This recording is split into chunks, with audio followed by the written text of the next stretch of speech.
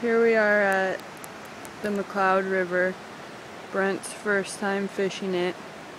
It only took him about 10 minutes and he's got one on his line right now. Just looks like a little baby.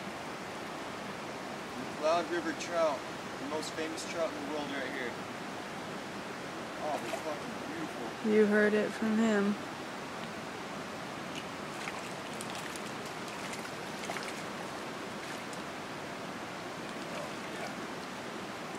He's totally stoked right now.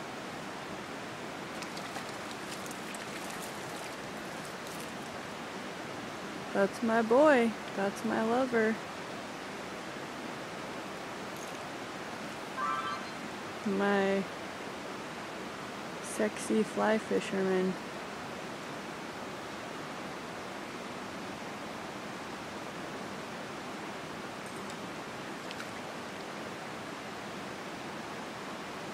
Um, Little little rainbow right there, baby.